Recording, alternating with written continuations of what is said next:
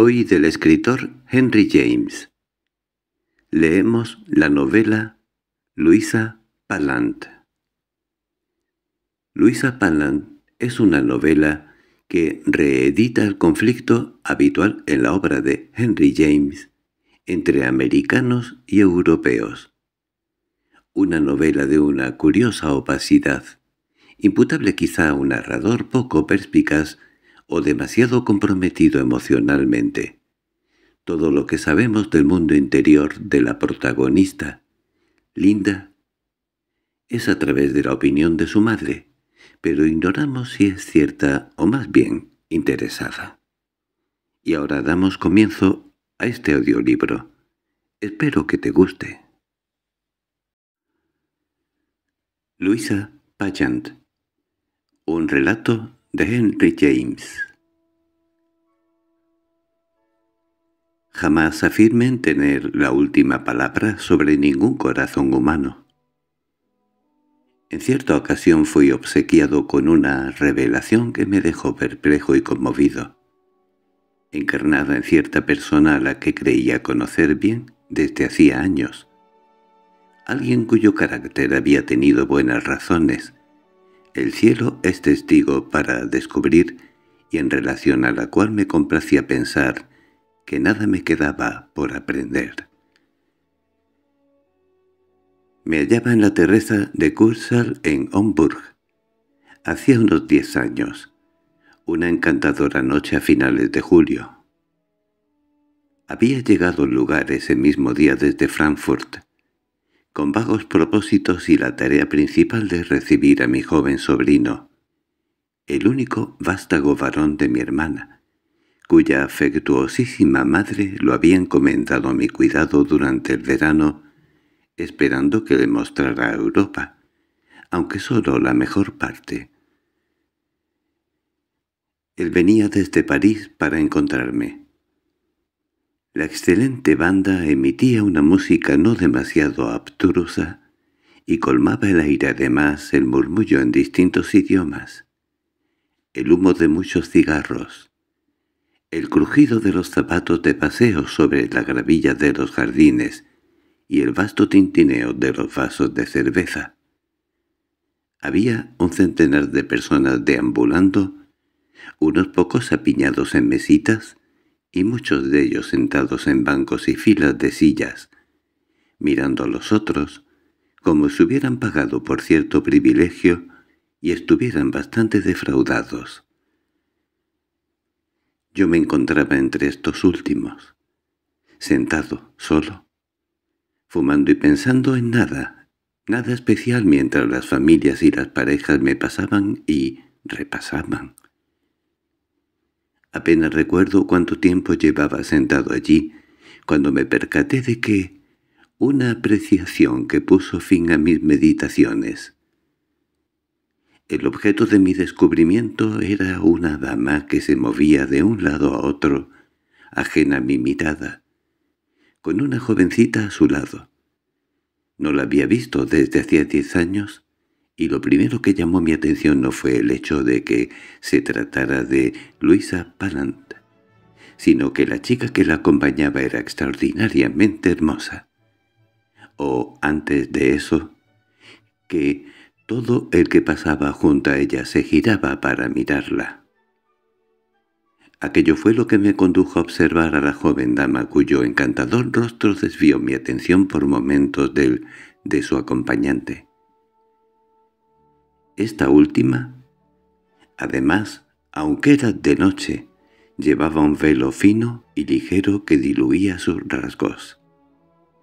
La pareja caminaba y caminaba a paso lento, y, pese a ser ambas muy discretas y decorosas y vestir además muy convenientemente, no parecían tener amistades. Todo el mundo las observaba, mas nadie se dirigía hacia ellas, y apenas mantenían conversación. Además, llevaban con extrema compostura y como si estuvieran plenamente acostumbradas a ella, la atención que despertaban. Me temo que por un instante se me pasó por la cabeza que no eran del todo decentes, ya que de haberlo sido la mayor de ellas habría puesto más empeño en ocultar a la joven de la mirada pública y no se mostraría tan pudorosa para exhibir su propio rostro. Puede que esta ocurrencia me sobreviniera con demasiada facilidad entonces, debido a la inminente tutoría de mi sobrino. Si debía enseñarle solo lo mejor de Europa debía tener sumo cuidado con la gente que conociese, especialmente las damas, y las relaciones que mantuviese. Sospechaba que sabría muy poco de la vida y mis responsabilidades me incomodaban en cierta medida. Me sentí, acaso, plenamente aliviado al descubrir que tenía Luisa Paland ante mí y que la chica era su hija linda, a la que había conocido de niña, convertida ahora en una belleza absoluta? La pregunta es delicada, y la prueba de que no estaba muy seguro es quizá que me abstuve de dirigirme a las damas inmediatamente. La contemplé por un momento. Me preguntaba qué harían. Nada malo, por descontado pero sentía curiosidad por saber si estaban realmente tan aisladas. Homburg es un gran centro vacacional de ingleses. Allí se retoma el hilo de la temporada social londinense hacia primeros de agosto. Y pensé que en una compañía como aquella Luisa conocería naturalmente a gente. Me daba la impresión que cultivaba amistades entre los ingleses que habría frecuentado mucho Londres y podría tener intenciones de establecerse de forma permanente en la ciudad. Mis suposiciones se aceleraron ante la imagen de la belleza de Linda, siendo consciente de que no existe país en que más se aprecie una persona bella. Podrán comprobar que me tomé algún tiempo, y confieso que cuando acabé el cigarro, lo volví a considerar todo de nuevo. No había ningún buen motivo por el que debiera arrojarme a los brazos de la señora Palant en ese momento. No me había tratado bien en el pasado, y nunca lo arreglamos realmente. Por alguna razón, ni tan siquiera la circunstancia de que, tras el resentimiento inicial, me alegrara de haberla perdido había corregido nunca la situación entre nosotros. Tampoco a ella le habían hecho sentir menos vergüenza por su despiadado comportamiento. El hecho de que la pobre Paland, después de todo resultara no ser buen partido, la había perdonado. No había creído que fuera otra cosa sino una salvación en no haberme esposado con una chica que fue capaz de retirar su promesa y romper el corazón de un tipo por menos lujos o por la pueril esperanza. Codemo demostró ser lamentablemente de alcanzar los mismos. Además, desde entonces, nos habíamos vuelto a encontrar con ocasión de mi última visita a Europa. Nos habíamos mirado a los ojos, fingido ser amigos sinceros y hablado de la mezquindad del mundo con serenidad, como si fuéramos los únicos justos, los únicos puros. Supe entonces qué explicación había dado por ahí que la había ahuyentado con mis dementes celos ante incluso de que empezara a pensar siquiera que Henry Paland, antes siquiera de que lo hubiese conocido. Eso no había sido cierto entonces, y no podía ser hoy la base de un verdadero reencuentro, especialmente si le suman que el señor Paland sabía perfectamente lo que pensaba de ella. En mi opinión, no siempre ayuda a la amistad que tu amigo sepa verdaderamente lo que piensas de él, puesto que a grandes rasgos sabe cuando tu opinión no es favorable, y así, especialmente, si me permite el solecismo, en el caso de que tu amigo sea una mujer. No había seguido los derroteros de Palant, Los años transcurrieron. Por mi parte en mi propio país, mientras que ella llevaba su vida que se me antojaba difícil tras la muerte de su marido, prácticamente una vida arruinada en tierras extranjeras. Oí hablar de ella de vez en cuando, siempre como establecida, en algún lugar, pero cada vez en un lugar distinto. Iba la deriva de un país a otro, y si al inicio había estado hecha de pasta dura, nunca se me habría ocurrido que su lucha con la sociedad, como podría denominarse, la hubiese abandonado.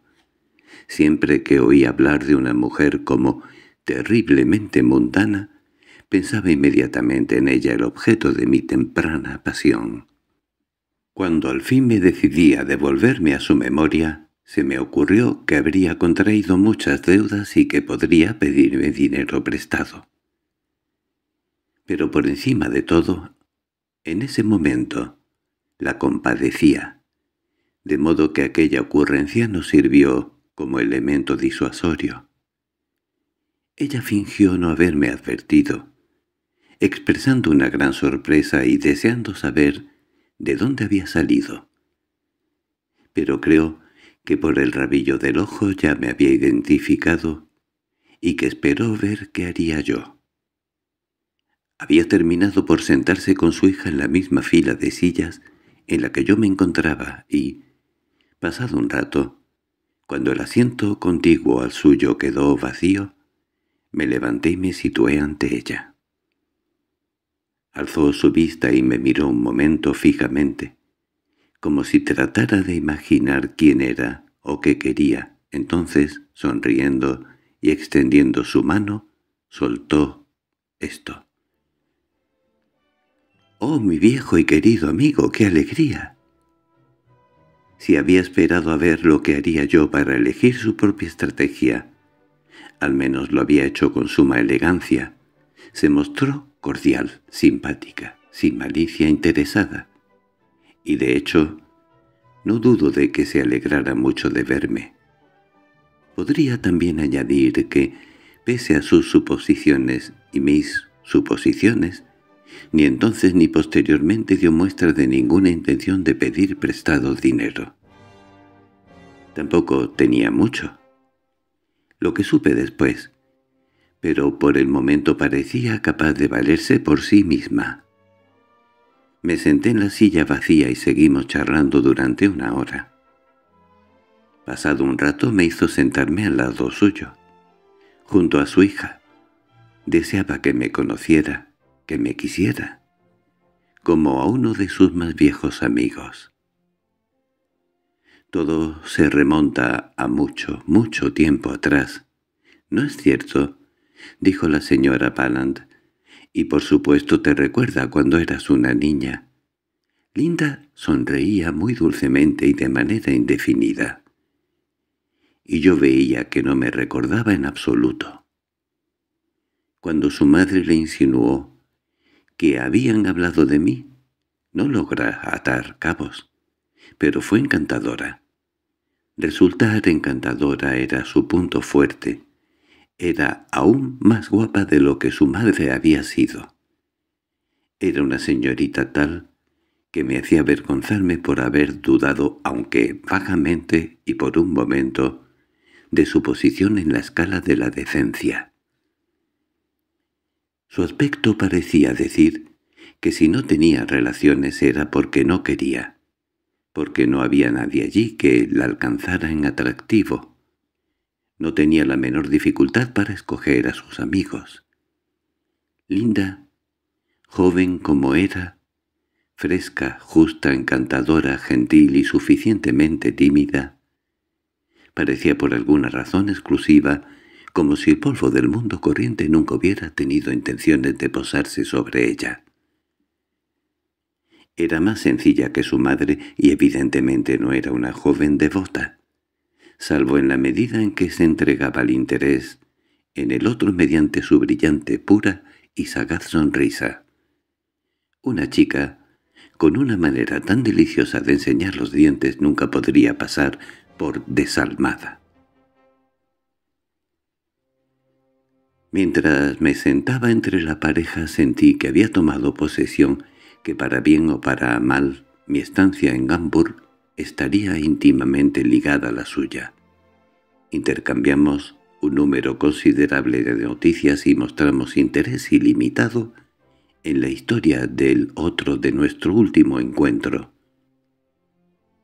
No sé lo que la señora Palant se guardó, pero lo que me respecta fui bastante franco. En cualquier caso me dejó ver que su vida había sido, grosso modo, como suponía, aunque los términos que usó para describirla eran muy, muy crudos que los de mis pensamientos. Confesó que habían ido de un lado a otro y que aún lo hacían. Su relato divagaba por momentos y se tornaba lo que vulgarmente se dice algo revuelto. Como pensé que Linda advirtió, mientras permanecía sentada observando a los transeúntes de un modo que delataba no ser consciente de sus miradas, sin acudir, sin embargo, en ayuda de su madre.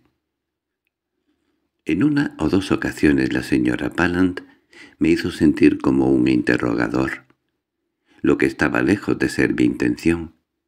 Asumí que si la niña nunca añadía palabra alguna era porque confiaba plenamente en la habilidad de su madre para salir ilesa. Algo me sugería. Apenas sabía cómo, que esa confianza entre las dos damas se prolongaba a larga distancia, que la unión de sus pensamientos, su sistema de adivinación mutua, era destacable y que probablemente apenas necesitarían acudir al torpe y en algunos casos peligroso recurso de expresar sus ideas en palabras. Supongo que no hice esta reflexión de inmediato, ni fue solo el resultado de nuestro primer encuentro. Estuve con ellas asiduamente durante los siguientes días y tuve tiempo de aclarar mis impresiones.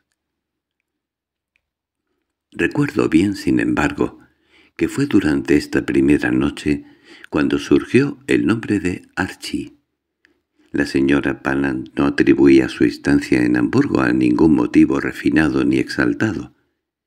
No dijo que se encontraba allí porque siempre viniera, ni porque una eminencia en medicina le hubiese prescrito beber las aguas.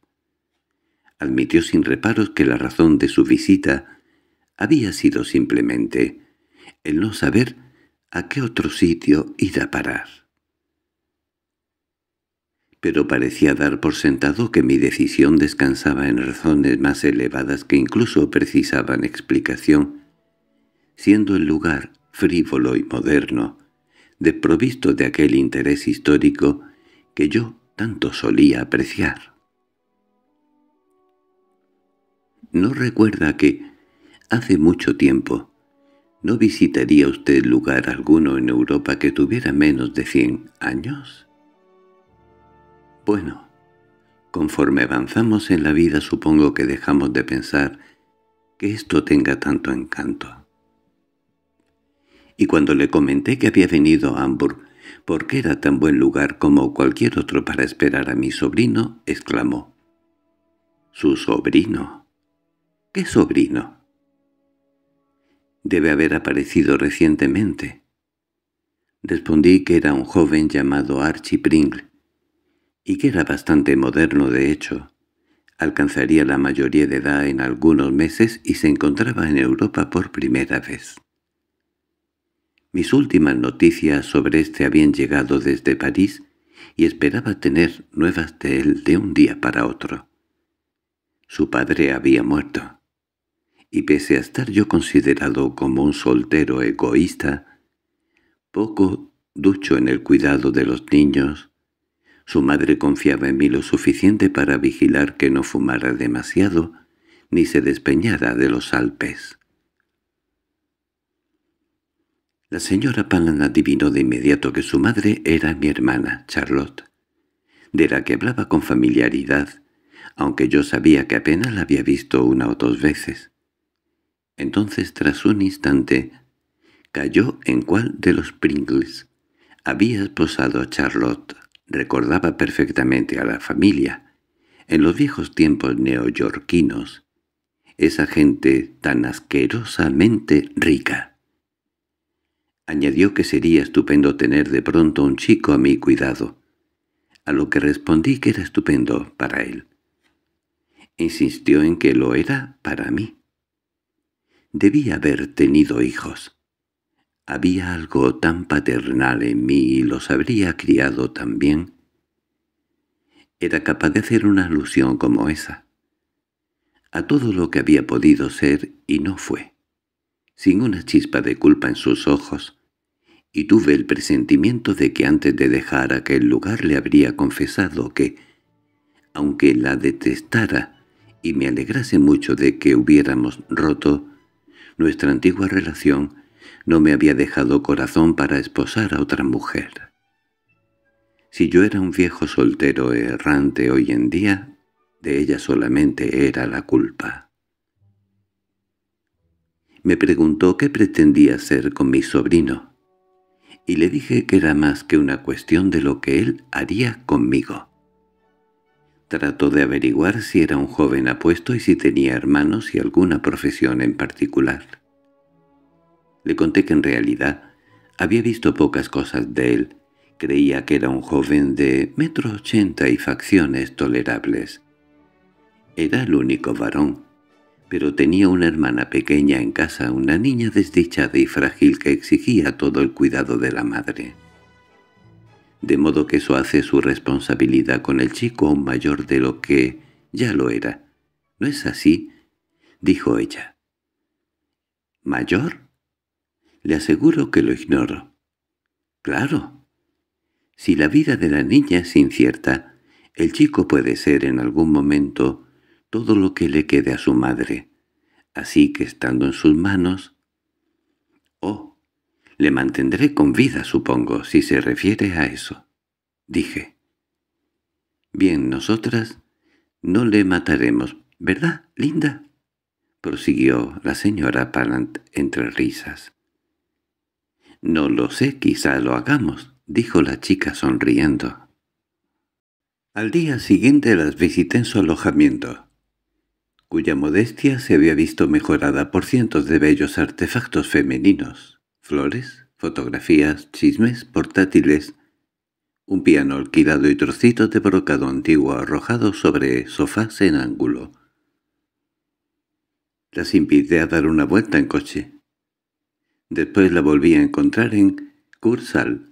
Les propuse cenar juntos a la moda de Hamburg. En el mismo Table de Hall y durante varios días continuó este trato familiar resucitado, emulando si no lograba alcanzarla una cierta intimidad. Confieso que me gustaba, ya que mis acompañantes mataban mi tiempo por mí y las condiciones de nuestra vida eran balsámicas. La sensación del verano, de la sombra, de la música y el ocio en los jardines y bosques alemanes, donde paseábamos, nos tendíamos y chismorreábamos, a lo que debe añadirse una cierta tendencia a lo sociable que, entre personas que podían resistir normalmente al reto de la curiosidad, reservábamos para nosotros mismos. Alimentábamos la condición de viejos amigos que, con respecto al otro, todavía tenían descubrimientos que hacer. Conocíamos la naturaleza del otro, pero desconocíamos su experiencia, de modo que cuando la señora Palas me contaba lo que se había traído entre manos, en mis propias palabras, durante tantos años, el conocimiento anterior incluía cientos de notas explicativas al pie como si hubiera estado editando a un autor que presentase dificultades en la página de interés. No había nada de extraño para mí en el hecho de no estimarla, pero encontré cierto sentimiento reanimador al descubrir que en Homburg no era necesario y que podría simplemente gustarme a cambio. Me parecía de la forma más extraña mejorada y deteriorada a la vez, como si en su naturaleza los dos procesos hubieran ido de la mano. Estaba maltrecha y hastiada y, en términos espirituales, vulgarizada.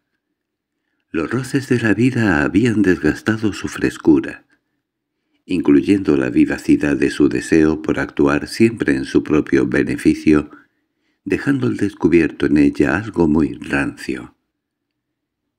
Por otro lado, delataba cierto escepticismo que le sentaba bastante bien, pues templaba aquel fervor de su juventud que tan desafortunada forma había tomado para mí. Estaba aburrida e indiferente, y, puesto que me daba la impresión de que había visto más de lo mezquino del mundo que de lo bueno, esto era todo un logro, en otras palabras. El cinismo formado en su naturaleza tenía la piel más suave que sus viejas ambiciones y como consecuencia debía reconocer que la devoción por su hija había sido una especie de religión. Había hecho todo lo mejor posible por Linda. Linda era curiosa, era interesante. He conocido muchachas que me agradaban más. Con todo lo encantadora que era, pero jamás he conocido una que durante el tiempo que pasara con ella la impresión se desvanecía de algún modo. Cuando estaba fuera de mi vista, me ocupara más. Podría describir mejor el tipo de interés que despertaba diciendo que destacaba por, por encima de todo como un producto acabado, así como lo hace una planta o una fruta, una orquídea cérea o un melocotón perfecto más que ninguna chica que hubiera visto nunca, ella era el resultado de un proceso de cálculo, una labor educativa pacientemente desempeñada, una presión ejercida para llevarla a alcanzar su punto álgido. Ese punto álgido había sido la estrella en el cielo de su madre. Colgaba ante ella de forma tan indudable, y la fuente de la única luz a la falta de una mejor, que alumbraba el camino de la pobre dama. La sostenía como ninguna otra religión. Lo máximo y lo mejor. Eso era lo que la muchacha había sido conducida a lograr. Me refiero, por supuesto, ya que no se había forjado ningún verdadero milagro, a lo máximo y mejor de lo que ella era capaz.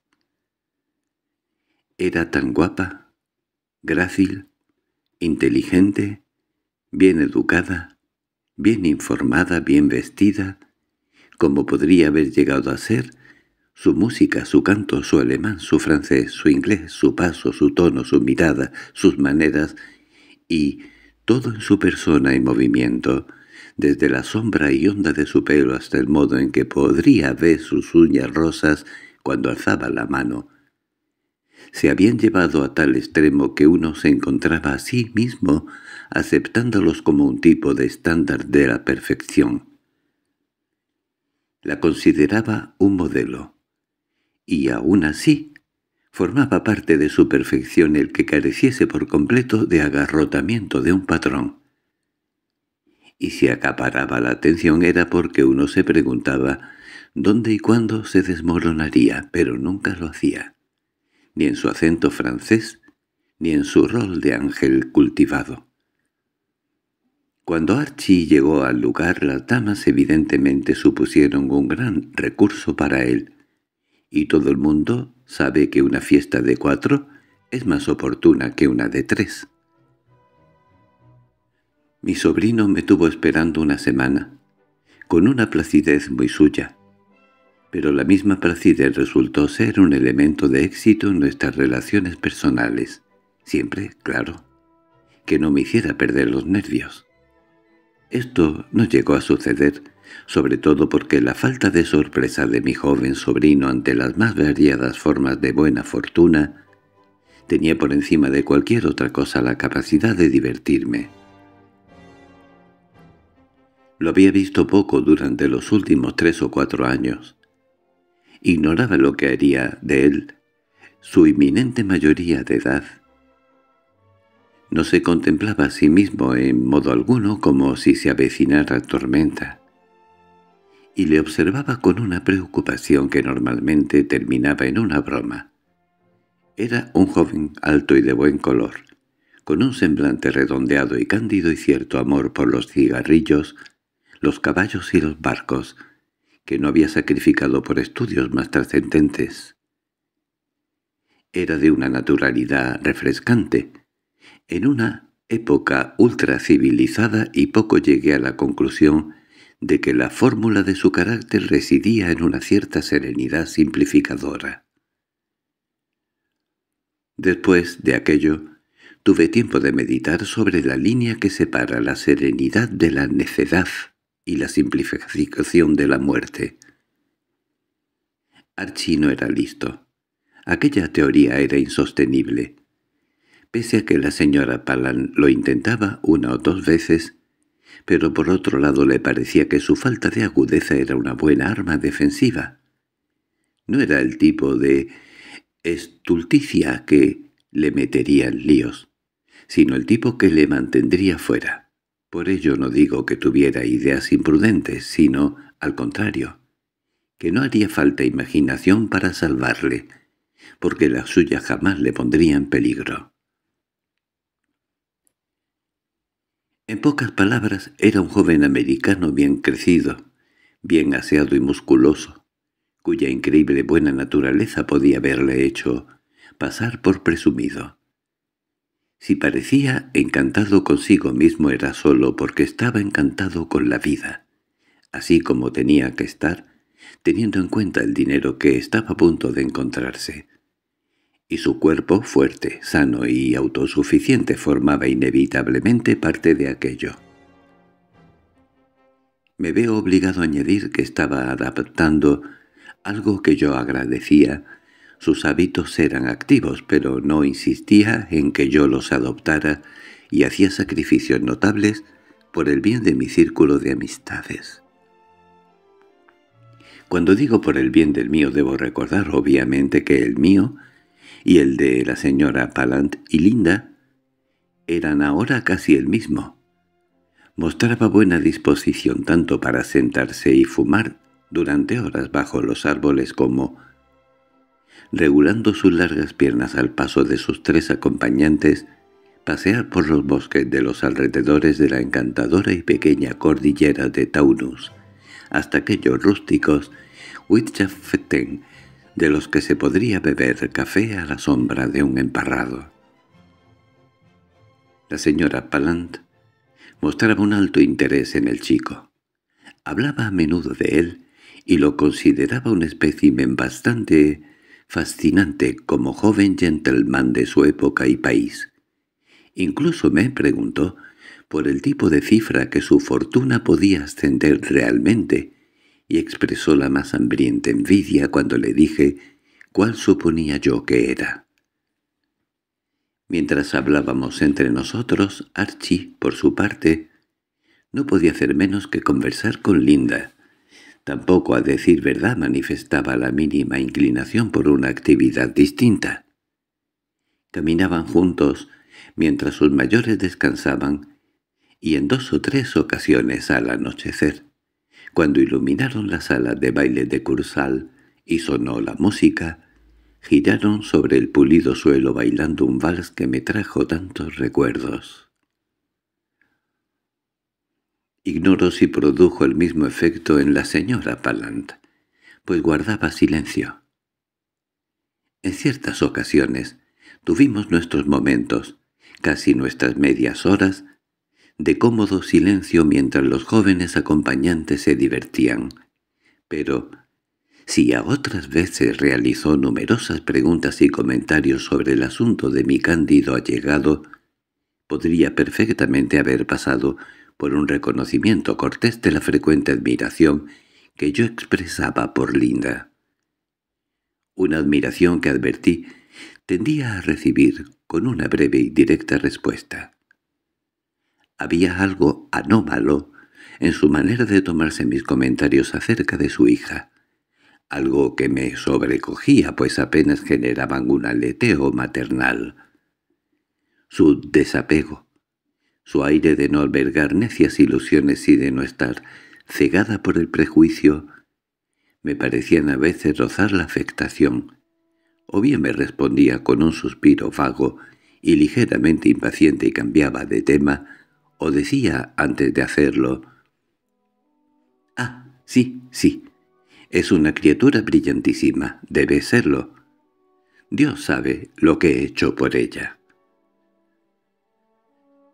El lector habrá ya percibido que disfruto examinando las explicaciones de las cosas, y en relación a este asunto tenía mi propia teoría de que la niña la había defraudado. ¿Cuál habría sido la decepción en concreto? Siendo imposible que la deseara más guapa o más encantadora, solo podía tratarse de que Linda no hubiera hecho uso de sus dotes con éxito. ¿Acaso esperaba que hubiera cazado un príncipe al día siguiente de dejar el colegio? Después de todo, quedaba muchísimo tiempo para ello, pues solo tenía veintidós años. No se me ocurrió pensar que la falta de entusiasmo de su madre proviniese de que la joven dama no había desarrollado una naturaleza tan bondadosa como hubiese esperado. Porque, en primer lugar, Linda me parecía enteramente honrada y en segundo porque no me pagaban, como dicen los franceses, para pensar que Luis Palant le importara mucho que lo fuera o no. La última hipótesis a la que yo hubiera recurrido era de una inconfesa desesperación ante el síntoma de mala moral. Y en relación a la naturaleza de Linda tenía ante mí el espectáculo diario de sus modales con mi sobrino. Resultaban de lo más encantador posible, sin indicios de pretender provocarle. Se comportaba con la familiaridad de una prima, pero como una lejana, una prima que ha sido educada para respetar el parentesco. Su inteligencia era tan superior a la de Archie que no podía evitar reírse de él. Pero no se reía tanto como para excluir la diversidad, siendo plenamente consciente sin duda de que brilla más la inteligencia de una mujer frente a la estupidez de un hombre cuando finge tomar dicha estupidez por sabiduría. Linda, además, no era parlanchina, del mismo modo que conocía el valor de otras muchas cosas, conocía el de los intervalos. Estos abundaban en la conversación de los jóvenes y tampoco el propio discurso de mi sobrino, por no hablar de su pensamiento, se encontraba exento de periodos de letargo. Tanto era así que a veces me preguntaba cómo mantenían su relación a ese nivel de cordialidad, una cordialidad cuyo sello indudablemente llevaban estampado. Cordial, indiscutiblemente, era el modo en el que Archie se sentaba cerca de ella, lo suficientemente cerca para los susurros. De haber llegado estos a sus labios, y la mirada con ojos curiosos y con la libertad de no tener que esforzarse mucho por hacerse el agradable. Ella siempre estaba haciendo algo.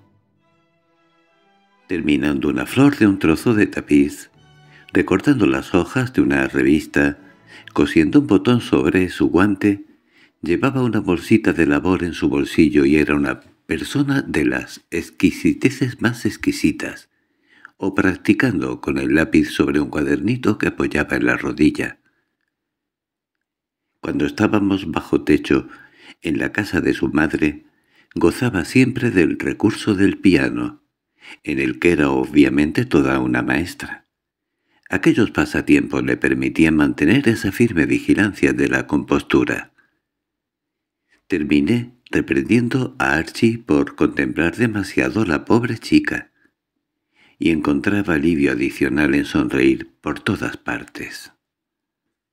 Cuando los ojos de mi joven muchacho fulguraban ante ella, los de Miss Palant se apresuraban hacia los árboles, nubes y otros objetos circundantes incluidos su madre y yo mismo. A veces estallaba en una repentina carcajada de vergüenza, alegre y sin sentido. Cuando se alejaba de nosotros, miraba hacia atrás de modo que pareciese decir que no sería por mucho tiempo, que seguía con nosotros en espíritu. Si estaba encantado con ella era por un buen motivo. Hacía mucho que una chica hermosa no había dado muestras de tomarse en tal consideración. A veces, cuando estaban lo suficientemente lejos para no molestarnos, le leía en voz alta algún texto al señor Archie. Nunca supe de dónde sacaban los libros. Yo no se los proporcionaba, y sin lugar a dudas él tampoco. No era lo que se dice un lector, y me atrevería a decir que en ocasiones hasta se quedaba dormido. Recuerdo bien la primera vez, transcurridos unos diez días, como los descritos que la señora Palant me comentó. «Mi querido amigo, es usted increíble. Se comporta en todos los aspectos como si estuviera perfectamente preparado para aceptar ciertas consecuencias». Afirmó dirigiendo la cabeza hacia nuestros jóvenes acompañantes, pero aún así puse en el aprieto de explicar a qué consecuencias se refería. —¿Qué consecuencias? —repitió. Bueno, las consecuencias que se dieron cuando usted y yo nos conocimos. Dudé por un momento y entonces mirándola a los ojos le pregunté, ¿se refiere a que lo rechazará? No sea grosero. No está siendo generoso, respondió ruborizándose de súbito. Le estoy advirtiendo. ¿Quiere decir que mi chico se enamorará de ella? sin lugar a dudas. Incluso parece que el daño está hecho. Entonces su advertencia llega demasiado tarde, le dije sonriendo. —¿Pero por qué lo llama daño? —¿No tiene ningún sentido de la responsabilidad? —preguntó. —¿Es eso para lo que su madre lo ha enviado? ¿Para buscarle una esposa? ¿Para permitirle que meta la cabeza en una horca el día después de su llegada? Que el cielo me libre de hacer algo así. Además sé que su madre no quiere que se case joven. Piensa que es un error, y que a esa edad un hombre no elige realmente. No elige hasta que haya vivido un poco, hasta que haya mirado a su alrededor y comparado. Entonces, ¿qué cree usted? Me gustaría decir que considero el amor en sí mismo, aunque sea joven suficiente elección, pero siendo yo mismo un soltero a estas alturas me contraria demasiado. Bien, entonces es usted demasiado primario. Tendrán que dejar este lugar mañana. ¿Para no ver a Archie darse un batacazo? Tiene que cogerle del pescuezo y llevarle con usted. —¿Cree que el chico ha llegado tan lejos? —le pregunté. Si fuese su madre, sabrá qué hacer. Puedo ponerme en su lugar, no soy estrecha de miras. Sé perfectamente qué opinaría ella de todo esto. ¿Y no sabe que en América no se considera importante la opinión de la madre? La señora Parent se quedó callada un instante como si en parte la dejase perpleja y en parte la sacase de quicio. Bueno, no estamos en América. Resulta que estamos aquí. No, mi hermana la pobre está ocupadísima en Nueva York. Soy capaz de escribirle para solucionarlo, dijo la señora Paland. —¿Me está advirtiendo? —exclamé—, pero apenas sé de qué. Me temo que mi responsabilidad empezaría solo en el momento en que pareciese ser su hija la que corre el peligro. «Ah, no tiene por qué ocuparse de eso. Yo cuidaré de ella. Si piensa que la chica ya está en peligro, me lo llevaré mañana mismo», continué. «Es lo mejor que podría hacer». «No sé. Lamentaría mucho actuar como una falsa alarma. Me encuentro muy bien aquí» Me gusta el lugar, la vida y su compañía. Además no me parece que por parte de ella haya nada. Me miró con una expresión que no había visto nunca en su cara, y la había perturbado. Me pagó con la misma moneda. Es muy desagradable. No merece lo que haría por usted. Lo que haría por mí, lo dijo aquel día. Pero retomamos el asunto de nuevo. Le dije que no veía razones para suponer que una chica como Linda, lo suficientemente brillante para celebrar uno de los mejores enlaces, caería en los brazos de mi sobrino. ¿Me permitiría preguntarle si su madre había obtenido una confesión de la muchacha, si le había revelado su secreto? La señora Paland me respondió que no necesitaban contarse esas cosas. No habían vivido veinte años en tan estrecha intimidad para nada. A aquello contesté que ya lo había deducido, pero que podía existir una excepción para una gran ocasión como la presente. Si Linda no había manifestado nada era señal de que para ella la ocasión no era remarcable, y le mencioné que Archie tampoco me había hablado de la joven dama en momento alguno, salvo para comentar de modo informal y con cierto paternalismo, después de su primer encuentro con ella, que era una florecita encantadora. La florecita era casi tres años mayor que él. Aparte de eso no se había referido a ella ni tampoco había respondido a mis alusiones. La señora Palant me informó de nuevo, para lo que estaba preparado, de que yo era demasiado primario y entonces dijo «No es preciso que tratemos el asunto si no lo desea, pero resulta que sé, como obtuve la información, no importa que si Mr. Pringle llega a declararse a mi hija, ella lo devorará de una sentada. Sin duda es un detalle que usted merece conocer. Muy bien, lo tantearé. Me ocuparé del asunto esta misma noche. No, no lo haga. Lo echará todo a perder, murmuró en un tono peculiar de desaliento. Lléveselo de aquí. Eso es todo. No me agradaba en absoluto la idea de llevármelo. Parecía demasiado repentino y necesariamente violento. Aún dándose falsos pretextos y, además, como le había dicho a la señora Paland, no tenía deseo alguno de marcharme. No consideraba parte del trato con mi hermana, dados mis hábitos de señor de mediana edad, el jugar al escondite por toda Europa. De modo que dije, ¿Realmente rechazaría al chico como yerno? Después de todo es un buen tipo y un caballero. Mi pobre amigo, es usted demasiado superficial, demasiado frívolo, respondió la señora Pan con bastante amargura. Había una vibración de destén en aquello que me irritó, así que exclamé. Posiblemente, pero resulta extraño que tenga que venir de usted una lección de entereza. No obtuve réplica por su parte, pero finalmente dijo con calma. «Creo que lo mejor será que Linda y yo nos marchemos. Llevamos aquí un mes. Es suficiente». «Cielos, será un fastidio», exclamé, y durante el resto de la tarde hasta que nos separamos nuestra conversación había tenido lugar tras la comida en el Cursal.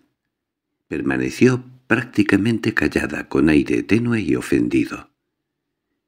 Esto de ningún modo me alivió, como debía haberlo hecho, pues era demasiado absurdo que, entre todas las mujeres, fuese Luisa Palan quien se propusiera acusarme, si hubiera que acusar a alguna mujer en el mundo.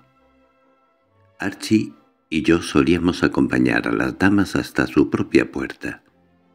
Vivían en una calle de alojamientos secundarios, a cierta distancia de las habitaciones, y nos despadíamos bien entrada la noche desde la calle de grandes adoquines del pueblecito alemán durmiente, bajo cuyas ventanas cerradas, indicio de interiores cargados, nuestras despedidas inglesas se escuchaban alegres.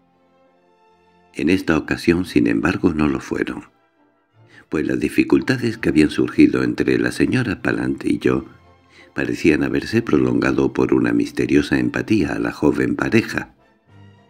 También ellos se mostraban bastante meditabundos y silenciosos.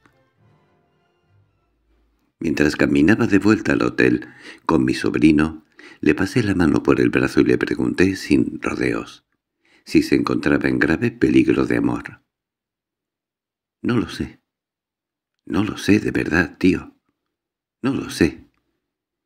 Esa fue toda la satisfacción que pude obtener del joven, que no poseía ni la arteria más fina de introspección.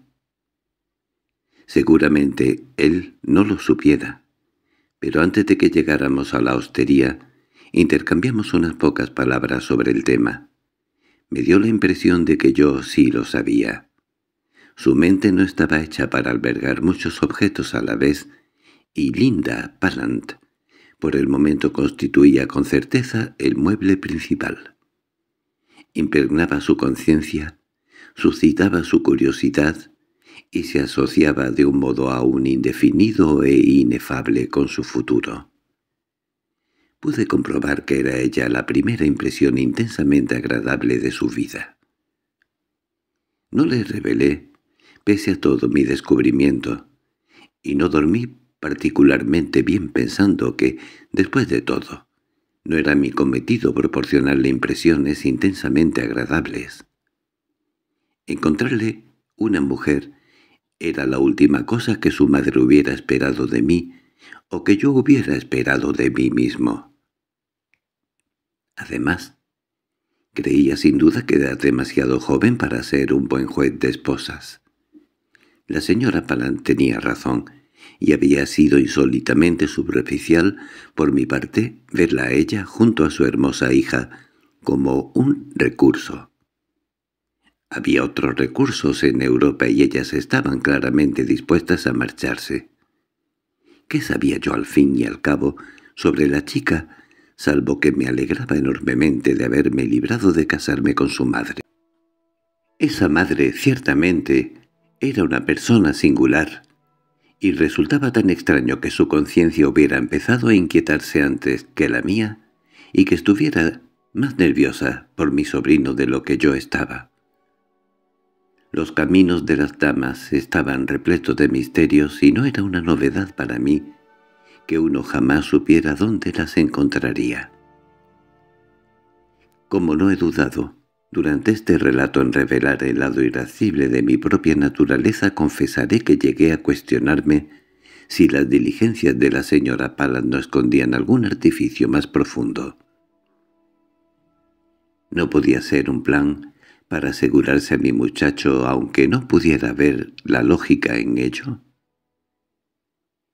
Si ella lo veía, como podía darse en vista de su gran fortuna, como un buen partido, ¿No podría haber montado esa pequeña comedia en su propio interés de acuerdo con la chica?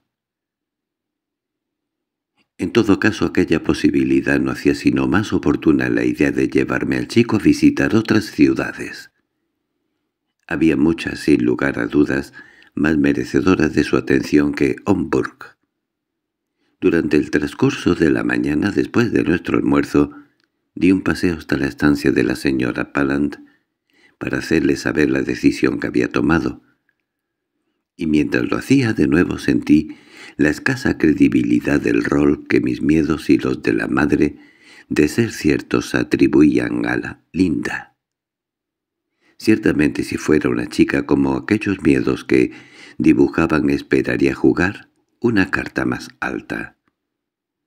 Había sido educada para hacer la mejor jugada, la señora Paland lo había admitido honestamente, y dicha educación, por no hablar de dicho sujeto, justificaba la esperanza de un mayor reembolso. Un joven americano, que no podía darle más que dinero del bolsillo, resultaba un premio bastante modesto. Y si estaba instruida para casarse por ambición, no había dicha dureza ni en su cara ni en su tono, pero nunca la hay sus pretensiones estarían puestas al menos en un duque inglés. Me recibieron en la instancia de la señora Paland con el anuncio de que ambas habían dejado Homburg, media hora antes. La buena mujer que había arrojado la pareja manifestó no saber nada de sus planes salvo el hecho de que se dirigían a Frankfurt, donde sin embargo pensaba que no tenían intención de quedarse. Evidentemente viajaban más lejos. ¿De improviso? Oh, sí, tremendamente de improviso. Debían de ver haber pasado la noche haciendo el equipaje.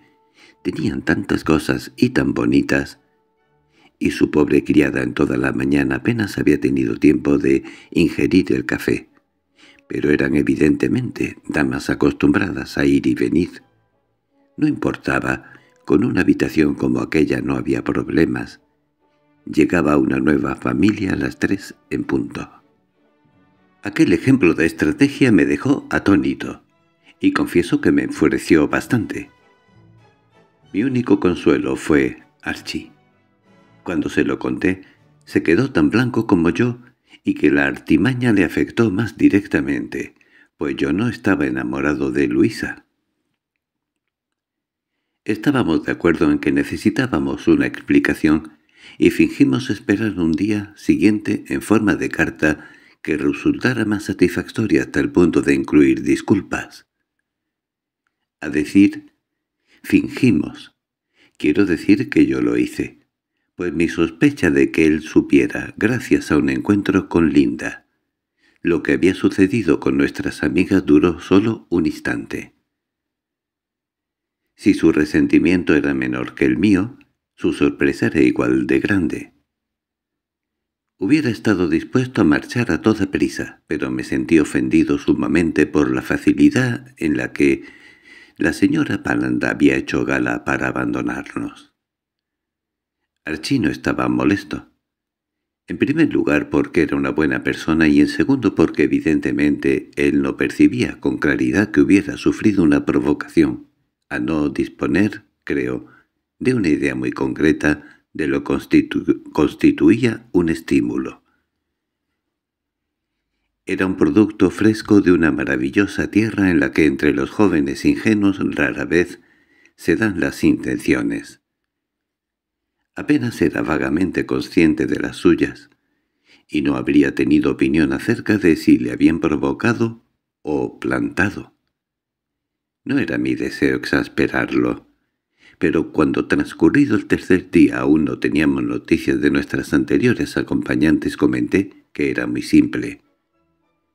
Resultaba... resultaba obvio que solo se estaban escondiendo de nosotros, nos consideraban peligrosos y querían evitar enredos. Nos habían hallado demasiado atentos y no querían alimentar falsas esperanzas. Archie pareció aceptar esta explicación e incluso daba la impresión, o al menos así lo entendí por su falta de preguntas, de creer que el asunto podría ser delicado para mí. El pobre joven estaba completamente desconcertado y me reí pensando en la imagen que debía estar haciéndose de la señora Paland huyendo de las insistencias de su tío. Decidimos abandonar Homburg. Pero si no fuimos tras ella no fue únicamente por ignorar dónde se encontraba. Podría haberlo descubierto con algunas pocas molestias, pero me frenaba la reflexión de que ese sería su mismo razonamiento. Había sido deshonesta, y su partida era una provocación. Me temo que con esa estúpida convicción diseñé un pequeño itinerario independiente con Archie. Incluso me dije a mí mismo que sabríamos dónde estaban muy pronto y que nuestra paciencia, hasta la de mi joven hombre, se estiraría más que la suya. Por ello lancé un pequeño grito de triunfo en privado, cuando tres meses después estando en Interlaken, Archie me dijo que había recibido una nota de la señora Palant. Su manera de decírmelo fue preguntar primero si existían razones concretas para demorar más aún la visita programada a los lagos italianos. No había pensado ya el miedo al clima caluroso, que además era en verano nuestra temperatura de origen, encontrándonos ya a mediados de septiembre. Respondí que partiríamos al día siguiente si lo deseaba. Y solo entonces, satisfecho aparentemente por lo fácil que era negociar conmigo, me reveló su pequeño secreto. Me mostró la carta. Era un documento grácil y sencillo, apenas con unos pocos trazos fluidos en una hoja de papel para correspondencia que no comprometía en modo alguno a la joven dama. Sin embargo, aunque fuera casi la disculpa que había estado esperando, salvo que ésta, de haber llegado de la madre, no era una invitación ostensible en modo alguno. Mencionaba de modo casual. La mención se reducía prácticamente a la fecha que estaban en el lago mayor, en Braveno, pero consistía básicamente en la expresión de un lamento por habernos abandonado en Homburg, sin aviso. Linda no decía en qué urgencia se había encontrado, y solo esperaba que no lo hubiéramos jugado con demasiada dureza y que aceptáramos estas pocas y apresuradas líneas como sustituidas del omitido adiós. También esperaba que estuviéramos pasando nuestro tiempo de forma interesante y disfrutando del mismo clima y espléndido que prevalecía al sur de los Alpes, y sin otro particular, se despedía atentamente con muchos recuerdos para mí. La nota no contenía mensaje alguno de su madre, dejándome abierta la posibilidad para suponer a mi propio juicio bien que la señora Paland ignoraba que Linda estaba escribiendo o que deseaba que pensáramos eso mismo. La carta podía pasar como una cortesía a cualquiera de las chicas hacia una persona a la que había tratado en términos muy familiares. Como algo más, sin embargo, la tomó mi sobrino. Al menos eso me veía obligado a deducir por la extremadamente perceptible naturaleza de su determinación de ir a Baveno. Vi que era inútil arrastrarlo a otra parte. Tenía dinero propio en el bolsillo, y era perfectamente capaz de darme esquinazo. Aún así, tales son las dulces incongruencias de la juventud. Cuando le pregunté si había estado pensando en Linda, desde que nos dejaron plantados respondió, «Oh, no, cielos. ¿Por qué habría de hacerlo?» La mentirilla iba acompañada de un rubor exorbitante. Como el muchacho debía obedecer la llamada de la joven dama, yo también debía acudir para ver dónde le llevaría, y una espléndida mañana emprendimos el camino por el paseo de Simblón en una silla de posta. Logré avanzar ver que sería de mucho mejor gusto por nuestra parte apearnos en Stresa, que como todo el mundo sabe es un centro vacacional para turistas, también a orillas del lago Maggiore, en torno a una milla de distancia de Baveno. Si nos quedásemos en este último lugar, deberíamos hospedarnos en el mismo hotel que nuestras amigas, lo que resultaría indiscreto considerando nuestra peculiar relación con ellas. Nada sería más fácil que ir y venir de un sitio a otro, especialmente por agua, lo que suponía para Archie la oportunidad de remar ilimitadamente. Su cara se iluminó ante una visión de un par de remos y aparentó tomar mis súplicas de discreción muy seriamente, aunque advertí que comenzó inmediatamente a calcular oportunidades para estar a flote con Linda. Nuestro carruaje ya había insistido en etapas cómodas, y llevábamos tres días de camino. Nos dejó en estresa hacia la mitad de la tarde y en un increíblemente breve instante me encontraba en un pequeño bote con mi sobrino que nos remolcaba hasta Baveno con vigorosas remadas. Recuerdo la dulzura de la impresión que provocaba el paisaje.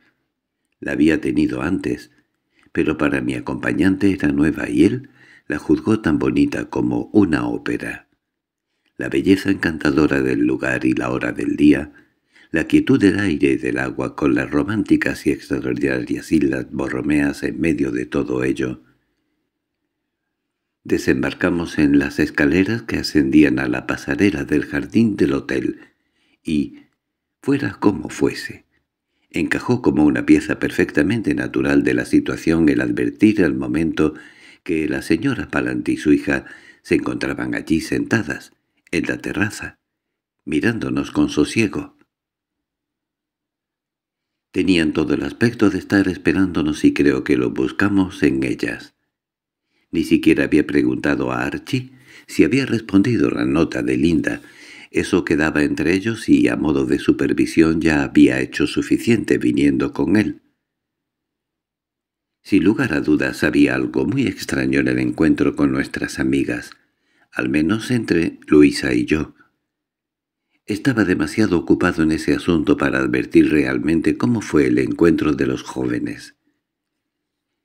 He señalado en suficientes ocasiones que no conseguía sacarme de la cabeza la idea que la señora Palan tramaba algo, y me temo que vio en mi cara que tal sospecha había promovido mi viaje. Había ido allí a desenmascararla. Conocer mis intenciones poco la ayudó a darme una calurosa bienvenida y por eso digo que nos encontramos en extrañas condiciones. Sin embargo, en esta ocasión cumplimos con todas las formalidades y la admirable escena nos dio mucho que hablar. No hice referencia delante de Linda a su retirada en Homburg.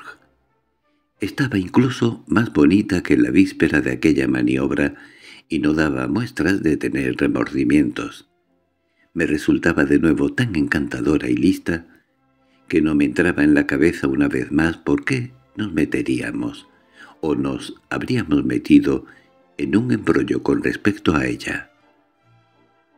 Mucha gente desearía complicar la situación únicamente para hacerlo bajo un pretexto tan simple como que Linda era admirable. Así era ella y ¿por qué no iban a ser las consecuencias igualmente admirables? Una de ellas, en el acto, fue que tras un instante Archie le propuso dar una vuelta con él en la barca que nos esperaba al pie de la escalera. Miró a su madre con un sonriente «¿Puedo, mamá?» La señora Palan respondió «Claro, cielo, si no te da miedo». Al oír esto, casi sin saber por qué solté una carcajada. De alguna forma me parecía tan gracioso que se atribuyera semejante timidez a una joven dama tan competente. Linda me lanzó una mirada algo cortante conforme se alejaba de mi sobrino. Parecía desafiarme, ligeramente decir «¿Qué demonios le ocurre?» mientras se alejaba con mi sobrino. Era la primera expresión de ese tipo que había visto nunca en su cara. Los ojos de la señora Palant, por el contrario, ni siquiera buscaron los míos. Cuando nos dejaron allí a solas se sentó en silencio, sin prestarme atención, mirando al lago y las montañas, a las cumbres nevadas que vestían el rubor de la tarde.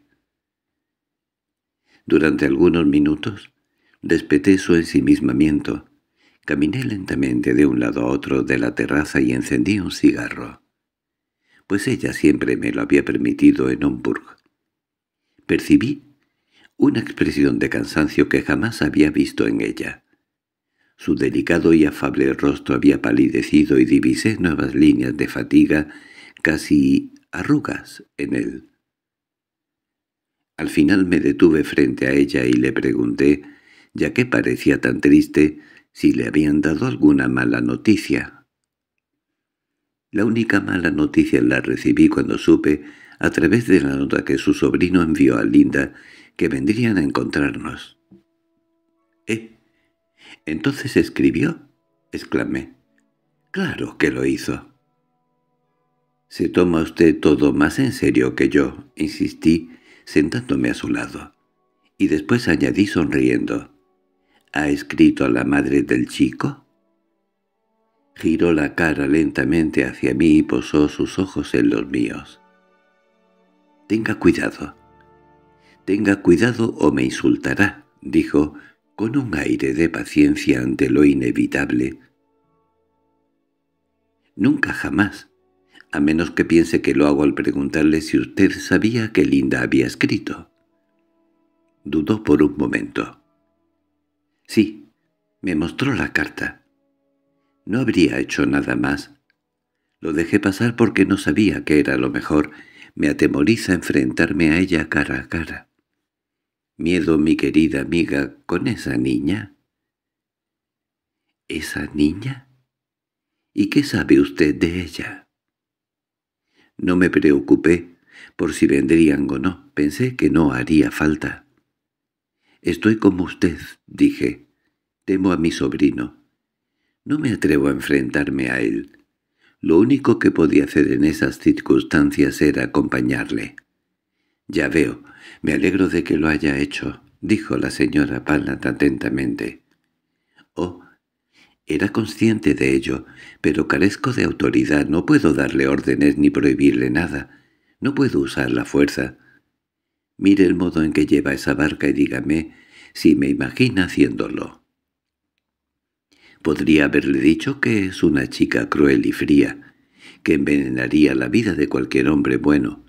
Estalló de pronto mi acompañante con cierta exaltación. «Querida señora Palland, ¿a qué se refiere?»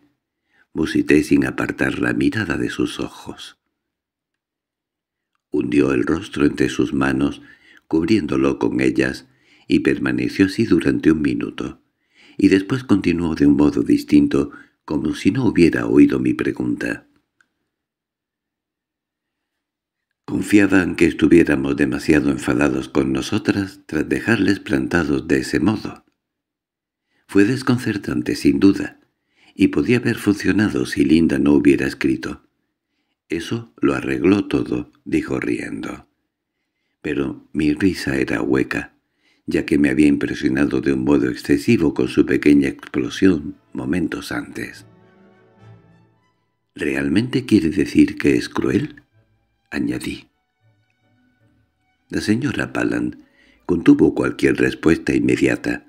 Se limitó a decir que después de todo no importaba si la crisis se producía unas semanas antes o unas semanas después, ya que desde el comienzo estaba escrito que sucediera.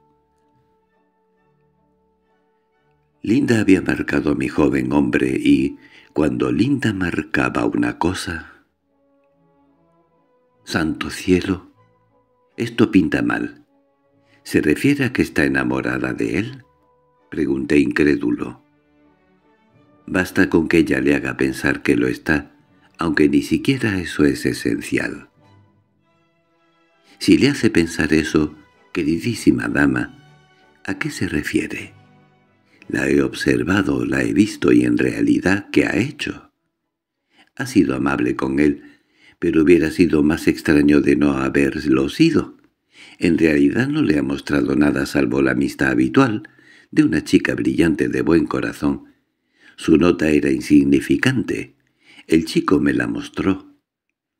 «No creo que haya usted escuchado cada palabra que le ha dicho», replicó la señora Paland, con una insistencia que me pareció contra natura. «Tampoco usted me atrevería a decir», exclamé. Evidentemente se refería a algo más de lo que dijo, y dicha impresión me dejó helado. Me hizo sentir muy incómodo. «No, pero conozco a mi propia hija. Es una joven muy singular». «Utiliza usted un tono muy curioso cuando habla de ella», respondí un tono que jamás creo haber escuchado de los labios de una madre. Lo había observado antes, pero nunca tan acentuado. Al oír esto la señora Paland se levantó, permaneció de pie un instante mirándome desde arriba. «Complica usted mi enmienda, mi explicación», y dejándome un tanto perplejo comenzó a moverse de un lado a otro de la terraza. En ese momento la alcancé y repetí sus palabras. ¿Su enmienda? ¿Su expiación? ¿A qué diablo se refiere con eso? Sabe perfectamente a lo que me refiero. Es demasiado magnánimo por su parte fingir que no lo sabe. Bueno, de modo alguno veo que me beneficia, o ¿Cómo me compensa que ofenda a su hija? «Oh, no me importa, lo salvaré», exclamó conforme se alejaba con cierto ímpetu perverso. En ese momento dos damas, aparentemente inglesas, se aproximaron. Se habían sentado aquí y allá, grupos dispersos, y los clientes del hotel iban de un lado para otro, y contemplé la transición inmediata y encantadora muestra de tantos años de práctica social mediante la cual cuando nos saludaron la señora Palant cambió su expresión entusiasta casi febril por un semblante de reconocimiento y agrado.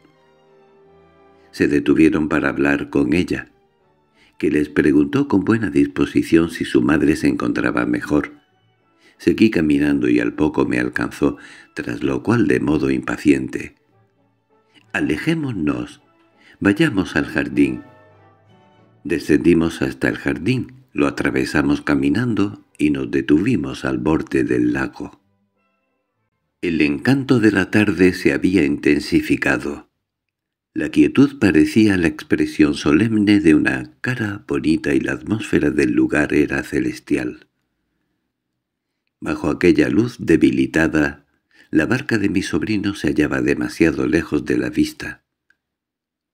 La busqué por un momento y entonces, cuando me rendí, añadí que de una excursión como esa, en un lago como ese, a una hora como esa, un joven y una joven de sensibilidad común solo podían volver doblemente comprometidos.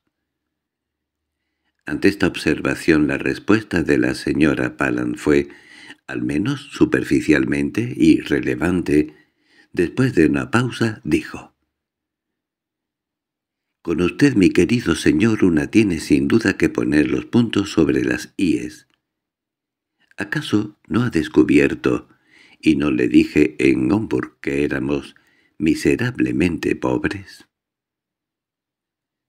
¿No le parece exagerado decir miserablemente cuando se alojan en un costoso hotel? Nos aceptan en pensión por tan poco al día. Llevo llamando a la puerta de Europa en tiempo suficiente para saber que hay ciertas maneras de hacer las cosas. Además, no hable de hoteles. Hemos pasado media vida en ellos y Linda me dijo la pasada noche que esperaba no volver a poner en pie en ninguno de nuevo. Cree que venir a un lugar como este es lo más alejado a encontrar una casa propia. Bien, en estos momentos su acompañante es perfectamente capaz de darle una. Creo no tener el más mínimo deseo de empujar a uno en los brazos del otro. Prefiero lavarme las manos. Pero me gustaría saber por qué quiere, como acaba de decir, salvarle. Cuando habla como si su hija fuera un monstruo, asumo que no lo dice en serio. Se hallaba frente a mí a media luz, y para hacerme saber que estaba más en serio quizá de lo que nunca había estado en su vida, solo tuvo que mirarme detenidamente sin pronunciamientos. Son los valores de Linda. Dios sabe que ni yo misma podría comulgar con ello. Es ambiciosa, lujuriosa, obstinada para obtener lo que desea, más que nadie que hayas visto antes. Por supuesto tiene usted libertad para decirme que es culpa mía, que yo era así antes que ella y así la he hecho. ¿Pero acaso eso hace que me guste más? «Querida señora Palant, es usted tan extraordinaria», tartamudeé, sorprendido infinitamente y sin reproche alguno. «Oh, Sí, su opinión sobre mí está creada. Se ve de cierta manera y no se tomará la molestia de cambiarlo. Pero tendrá que cambiarlo, si le queda algo de generosidad. Sus ojos brillaban en el atardecer estival y estaba especialmente hermosa. —¿Esto forma parte de la enmienda de la expiación? —le pregunté. —No veo que le ha podido hacer a usted jamás a Archie. Basta con que sea algo suyo. Pero no lo hago por usted, lo hago por mí misma, continuó. Sin duda tiene sus razones, en las que no puedo penetrar, pero... ¿No puede sacrificar otra cosa? ¿Tiene que sacrificar a su propia hija? Ella es mi castigo, es mi estigma, gritó Luisa Palan con verdadera exaltación. A mí me parece más bien que usted es el suyo. ¿El suyo? ¿Qué sabe ella de esas cosas? ¿Qué puede sentir ella? Tiene un caparazón de acero, un corazón de mármol. Es verdad, se lo aseguro. Me horroriza. Posé mi mano sobre la pobre dama. Pronuncié con intención de contenerla y aliviarla las primeras palabras incoherentes que me vinieron a la cabeza y la conduje hacia un banco que percibía unas pocas yardas. Se dejó caer sobre él. Me situé cerca de ella y le rogué que considerara bien lo que estaba diciendo. No me debía nada, y no quería que nadie resultara herido. No quería que se acusara a nadie ni que nadie quedara expuesto por mi propio bien. ¿Por su bien? Oh, no estoy pensando en usted, respondió. Y de hecho al instante siguiente mis palabras me parecieron ciertamente fatuas. Se trata de una satisfacción para mi propia conciencia, porque tengo una. Por pequeña que piense usted que sea, tengo derecho a hablar de ella. Mi propio pecado me ha castigado. He sido terriblemente material. He pensado solo en eso, y le he enseñado a ella a ser así, a hacer lo mismo. Es la única enseñanza que le he dado nunca, y he aprendido la lección también que ahora que lo veo grabado en su naturaleza me horrorizo ante mi labor. Durante años hemos vivido de ese modo. No hemos pensado en nada más. Lo ha aprendido también que ha ido más lejos que yo. Digo que estoy horrorizada porque ella es horrible. Mi pobre y extremada amiga, le imploré. ¿No es acaso más horrible escuchar a una madre decir cosas semejantes? ¿Por qué si son abominablemente ciertas? Además no me importa decirlo si puedo salvarlo. ¿Espera usted que yo le repita al muchacho? —En modo alguno —interrumpió—, lo haré yo misma. Ante esto manifesté una protesta firme aunque inarticulada y continuó con cierta simplicidad. Me alegré mucho al principio, pero hubiera sido mejor no habernos encontrado. No estoy de acuerdo con eso. Ustedes me hacen inmenso bien. No me importa. Si puedo hacerle bien a él. Debe recordar que sus cargos resultan extrañamente imprecisos. Considerando lo violentos que son, jamás tuvo ninguna chica una apariencia más inocente, Sabe cuánto lo he apreciado. No sabe nada sobre ella, yo sí. Pues es obra de mis propias manos, declaró la señora Palan con risa amarga. La he observado durante años y a poco a poco, durante los últimos dos meses, me ha sobrepasado. No hay un solo punto de ternura en toda su alma. Por alcanzar una posición social brillante, si fuera necesario me vería ahogarme en este lago sin mover un dedo. Se quedaría de pie ahí y contemplaría la escena. Me empujaría ella misma, y sin un ápice de remordimiento. Esa es mi joven dama. Para lo único que tiene corazón es para escalar a la cima y resultar espléndida y envidiada por todo el mundo, para hacerlo cualquier precio por medio de cualquier mezquita o crueldad. Mentiría por ello, robaría por ello, mataría por ello. Mi acompañante formuló estas palabras con una claridad tremenda y profunda y un aire de sinceridad extraordinariamente solemne. Yo contemplaba su pálido rostro y sus ojos brillantes. Me tenía en una especie de estupor, pero su extraña franqueza casi vengativa se imponía.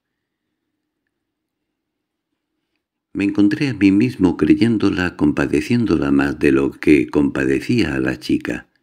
Era como si hubiera estado contenida en el interior de una botella durante más tiempo de lo que podía aguantar, sufriendo cada vez más por el enfermento de su conciencia. Ahora sentía alivio al advertir, denunciar y exponer. Dios me ha dejado verlo con el tiempo en su misericordia, continuó, pero sus caminos son inescrutables, y me lo ha revelado en mi propia hija. Es a mí misma quien me he permitido ver a mí y a lo que fui durante años. Pero ella es peor, lo es, se lo aseguro. Es peor de lo que yo nunca tuve la intención ni soñé con ser. Tenía las manos fuertemente entrelazadas sobre su regazo. Su voz profunda temblaba y su aliento se entrecortaba. Alzó la vista con perversidad religiosa hacia las estrellas apenas perceptibles. —¿Alguna vez le ha hablado a ella como habla conmigo? —le pregunté. —¿La ha amonestado? ¿Le ha reprochado algo? ¿Reprochado? ¿Cómo? Su respuesta sería «tú, tú, tú, la única referencia, ¿quién me hizo?» Entonces, ¿por qué desea tenderle una trampa? No estoy obligada a decírselo a usted, y no lo entendería si lo hiciera. Le tendería una trampa mucho peor a ese chico si sellara mis labios. Si la ama no creerá una palabra de lo que dice. Es muy posible, pero habré cumplido con mi deber. Y simplemente le dirá lo que me ha dicho a mí. No importa lo que vaya a decirle a él. Será algo que quizá le afecte si dejo de perder el tiempo. Si está tan concreta en ganar tiempo, dije, ¿por qué le permitió salir en la barca con él? ¿Permitirle? ¿Cómo podía impedirlo? Pero le pidió permiso. Eso es parte de la función. Estuvimos en silencio un momento tras el cual continué. —¿Entonces ella ignora que usted la odia? No sé lo que sabe. Tiene profundidades y profundidades, todas ellas malas. Además, no la odio de modo alguno, la compadezco simplemente por lo que he hecho de ella pero compadezco aún más al hombre que se descubra casado con ella. No hay mucho peligro que exista esa persona al ritmo que usted va. O sin lugar a dudas se casará con alguien, se casará con un título, así como con una fortuna. Es una pena que mi sobrino no tenga un título, murmuré sonriendo. Dudó por un momento. Veo que usted cree que es eso lo que yo quiero y que estoy haciendo un papel. Que Dios le perdone. Su sospecha es perfectamente natural. ¿Quién podría decir lo contrario con gente como nosotras? La manera en que pronunció estas últimas palabras arrancó lágrimas en mis ojos. Posé la mano sobre su brazo, sujetándola un instante, y nos miramos el uno al otro al atardecer. «No podría ser más si fuera mi hijo», dije finalmente. «Oh, si hubiera sido su hijo se habría mantenido al margen. Me agrada por sí mismo, es sencillo y honesto, necesita afecto». «Tendría una suegra admirable y entregada», continué. La señora Palant suspiró con cierta impaciencia y respondió que no bromeaba. Estuvimos sentados allí un rato más, mientras sopesaba lo que me había dicho y ella aparentemente hacía lo mismo.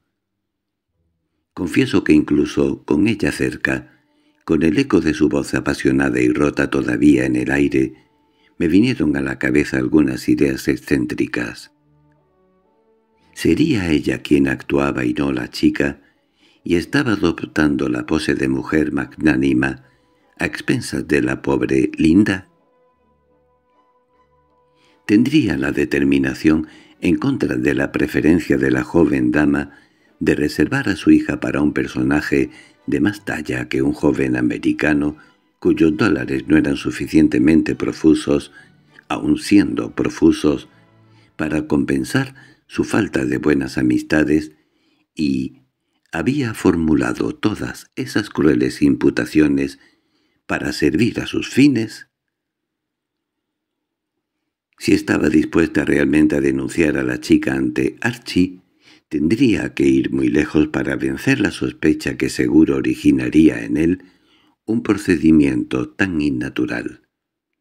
¿Estaría dispuesta a ir tan lejos?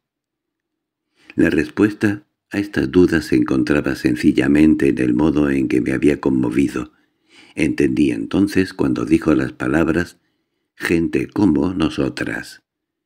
Provocaron un efecto enternecedor. Ciertamente se rebajó, y de alguna manera me sentí avergonzado, por mi parte, de verla rebajarse hasta tal punto. Finalmente me dijo que no esperase más. Debía irme antes de que volvieran los jóvenes. Estaban tardando mucho, demasiado. Mayor razón para hablar con Archie esa misma tarde. Debía volver en coche a Stris, o, si lo deseaba, podía ir a pie. No estaba lejos para un hombre. Se deshizo de mí sin reservas. Tan segura estaba de sus propósitos que, después de haber abandonado el jardín y regresado a la terraza del hotel, pareció casi empujarme a dejarla. Sentí sus delicadas manos temblando ligeramente sobre mis hombros. Yo estaba dispuesto a hacer lo que pedía. Me emocionaba de un modo tan doloroso que quería dejarme de ella. Antes de marchar le pregunté qué motivos podría tener Linda para ver a mi joven hombre como... No encajaba después de todo con su narración sobre las fieras ambiciones de la chica, según dicho retrato, Parecería que un príncipe reinante fuera lo menos a lo que aspirara. —Oh, ha reflexionado bien. Ha contemplado la cuestión desde todas las perspectivas —dijo la señora Palant. Si ha cambiado de opinión es porque sabe lo que puede hacer. ¿Se refiere a lo que ha discutido con usted? Señor, ¿por quién nos toma? No discutimos las cosas. Conocemos el punto de vista de la otra y solo tenemos que actuar. Podemos dar por sentado ciertas razones que resultan poco elegantes. Pero en este caso, seguro que ya no conoce su punto de vista, pobrecita. No porque no he jugado limpio, desde luego ella no esperaría nunca que hiciera trampa. Debe haber honor entre ladrones pero era libre de hacer lo mismo. ¿A qué se refiere hacer lo mismo? Podría haberse enamorado de un pobre hombre. Entonces hubiera sido mi final. Es mejor uno rico. Tiene más posibilidades, respondí con convicción. Usted lo entendería si hubiera llevado la vida que llevamos. No haber tenido realmente suficiente nunca. Me refiero tenerlo bastante como para hacer las pocas cosas sencillas que hemos deseado. No haber tenido jamás el nervio de la guerra, o, como supongo que usted diría, los fondos para la campaña. Haber sentido cada día y cada hora el monótono azote y haber hallado la cuestión de los dólares y céntimos, y desgraciadamente tan pocos de ellos, entremezclada con cada experiencia, con cada impulso, eso sí que la convierte a una en mercenaria. Sí que hace que el dinero parezca un bien más preciado que cualquier otro, y es natural que así sea. Por eso Linda considera que una fortuna es siempre una fortuna. Conoce, sobre la de su sobrino, cómo se invierte, cómo se espera que aumente, exactamente a qué tipo de ritmo le permitirá vivir, ha decidido que es suficiente, y suficiente es tan bueno como un festín.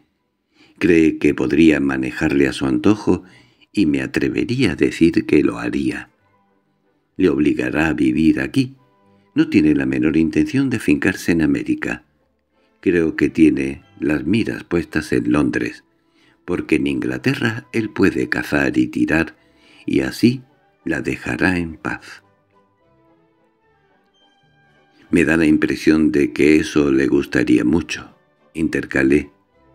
No es un mal plan en absoluto, ni siquiera desde el punto de vista de Archie. «Es inútil hablar de príncipes», continuó la señora Palan, como si no me hubiera oído. «La mayoría de ellos tienen más falta de dinero que nosotras. Por tanto, los títulos quedan fuera de la cuestión, y nos dimos cuenta de ello hace tiempo. Su sobrino es exactamente el tipo de joven que habíamos concebido con antelación. Es como hecho a propósito. La encantadora Linda demostró ser la mismísima hija de su madre cuando lo reconoció al instante. Ser americano es suficiente título hoy en día. Con la manera en que han progresado, vale tanto como cualquier otro título y simplifica mucho más las cosas. Si no me cree, venga a Londres a verlo. Mientras hablábamos, me había acompañado hasta la carretera. Yo había dicho que volvería dando un paseo hasta Estris y permanecimos allí de pie, caída ya la tarde. Mientras cogía su mano deseándole buenas noches, exclamé. «¡Pobre Linda! ¡Pobre Linda!» «Oh, tiene tiempo para mejorar», dijo la señora Palant. «¿Cómo puede mejorar si usted ha descrito a mi sobrino como la perfección?» Dudó por un momento. «Quiero decir mejorar para Mr. Pringle».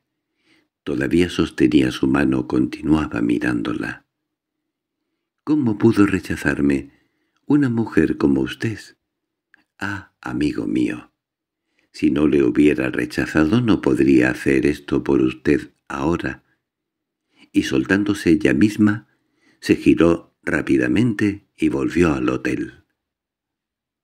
Ignoro si la señora Palant sintió vergüenza al hacer aquella afirmación que suponía retractarse de una negación anterior y de la verdadera realidad, como me permitía pensar a mí mismo, pero yo sí lo hice mientras me dirigía a Estrés. Es un camino de media hora en la oscuridad. El nuevo y singular personaje que había aparecido ante mí me producía un efecto de nerviosismo que me habría impedido sentarme en un coche con tranquilidad. Esta misma agitación me mantuvo despierto hasta bien tarde una vez en el hotel y como sabía que no dormiría era vano ir a la cama. Pese a lo mucho que pospuse dicha ceremonia, Archie no había aparecido aún cuando las luces del hotel comenzaron a apagarse. Comencé a inquietarme levemente por él, y me preguntaba si habría tenido un accidente en el lago. Concluí que en tal caso, de no haber traído a su acompañante de vuelta a Baveno, la señora Paland ya me habría mandado llamar. Además era estúpido suponer que pudiera haberle pasado algo a su vuelta en barca para reunirse conmigo, ya que la noche estaba plenamente apacible y más que suficientemente clara, y el lago tranquilo como el cristal. De igual modo, confiaba infinitamente en su fuerza para cuidarse en circunstancias difíciles. Finalmente, Regresé a mi habitación. La suya se hallaba a cierta distancia, no habiendo podido el personal del hotel ponernos juntos por encontrarnos en plena temporada de otoño. Antes de irme a la cama precisaba llamar a un sirviente, y entonces descubrí mediante una pregunta casual que mi sobrino había vuelto hacía una hora, y se había dirigido directamente a su cuarto. Había descartado que pudiera haber regresado sin venir a verme. Yo estaba merodeando por los salones y terrazas, y no me había ocurrido llamar a su puerta. Me hallaba a punto de hacerlo en ese momento. Tenía tanta curiosidad por cómo le encontraría. Pero me controlé, ya que evidentemente no había deseado verme. Esto no atenuó mi curiosidad y dormí incluso menos de lo que había esperado. El haberme esquivado de ese modo, pues de no haberme visto en planta baja podría haberme buscado en mi habitación, era un signo de que la charla con la señora Palant había tenido lugar realmente. ¿Qué le habría dicho? ¿Cuáles habrían sido las firmes medidas de la dama? El afán casi fatal por llevar a cabo su cometido que había demostrado ante mí sugería posibilidades en las que se me asustaba pensar. Había hablado de esas cosas mientras nos despedíamos allí como algo que haría por mí. Pero yo me había hecho el apunte mental, conforme me alejaba de ella, de que todavía no lo había hecho. No estaría realmente hecho hasta que Archie se hubiera echado atrás. Quizá estaba hecho a esta hora y el esquivarme parecía casi una prueba. Eso fue lo que pensé casi toda la noche. Pasé una parte considerable de ella en mi ventana, contemplando las montañas dormidas. ¿Se habría echado atrás o estaría considerando la posibilidad de hacerlo? Había una extraña contradicción en ello. De hecho, había más contradicciones que nunca. Creía en lo que la señora Palant me había contado sobre Linda, y aún así aquella otra idea me hacía avergonzarme de mi sobrino. Compadecía a la chica. Lamentaba que perdiera una buena oportunidad si había de darse el caso y aún así esperaba que el modo en que su madre le había traicionado no había otra palabra. Ante su amado hubiera sido rotundo. Solo en caso de que la señora Pannant hubiera tomado medidas muy radicales podría perdonar a Archie por retractarse. También lo sentía por el muchacho, sobre todo si finalmente ella había acusado al efecto que deseaba en él. Una o dos veces estuve a punto de ir a ofrecerle mis condolencias en bata. Estaba seguro de que también él había abandonado la cama y contemplaba por la ventana las colinas infinitas. Debo decir que el muchacho mostraba escasos síntomas de conmoción cuando nos encontramos por la mañana y desayunamos juntos. La juventud es curiosa. Tiene recursos que la experiencia parece arrebatarnos. Uno de ellos es simplemente, en el caso en cuestión, no hacer nada, no decir nada. Conforme nos hacemos mayores y más listos pensamos que es demasiado simple, demasiado crudo, disimulamos de forma más elaborada, pero con un efecto mucho menos desconcertante. Mi joven sobrino no parecía ni en lo más remoto haber pasado la noche en vela o tener algo en la mente, y cuando le pregunté qué había hecho tras mi temprana marcha, le expliqué lo sucedido, diciéndole que me había cansado de esperarle, que estaba cansado del viaje y deseaba irme a la cama. Él respondió, «Oh, nada en particular. Deambulé por el lugar, me gusta más que este. Lo pasamos terriblemente bien en el lago. No estaba cansado en absoluto. No le atosigué con preguntas. Me parecía poco delicado intentar investigar sobre su secreto. La única muestra de inquietud se produjo ante mi anuncio, tras el desayuno, de que volvería de nuevo a ver a nuestras amigas y mi actitud al dar por sentado que estaría encantado de acompañarme. Entonces señaló que él se quedaría en estrés. El día anterior les había hecho una visita bastante larga, además tenía que escribir algunas cartas. Había cierto aire fresco en sus reservas en torno a la duración de sus visitas, y yo conocía algo su correspondencia, que consistía exclusivamente en recibir veinte páginas de su madre cada semana. Su respuesta satisfizo mi curiosidad, tan pronto que fue en realidad este mismo sentimiento el que me llevó de vuelta a Baveno. En esa ocasión pedí un vehículo, y conforme subía en él, se quedó de pie mirándome en el porche del hotel con las manos en los bolsillos. Esa fue la primera vez que vi en el rostro del joven la expresión de una persona ligeramente confusa, incluso ligeramente atontada, a la que algo desagradable le ha ocurrido. Mientras le observaba, nuestros ojos se encontraron y estuve a punto de decir, «Hubiera sido mejor que vinieras conmigo». Antes de que girara y entrase al hotel como si dejara escapar de mi llamada, me dije a mí mismo que la señora Parran le había ahuyentado, pero no llevaría mucho tiempo tenerle de vuelta. El criado con el que hablé en Baveno me dijo que mis amigas se encontraban en una cabaña de verano en el jardín, hacia la cual les había indicado el camino. El lugar parecía desierto. Muchos de los clientes del hotel estaban dispersos por el lago o las colinas, en meriendas, al aire libre, excursiones o visitas a las islas Borromeas. Mi guía tenía razón, en parte pues Linda se hallaba en la cabaña, pero estaba allí sola. Al descubrir que así era me detuve un instante con cierta torpeza, porque tuve una sensación repentina de ser un hipócrita desenmascarado, un conspirador contra su seguridad y honor.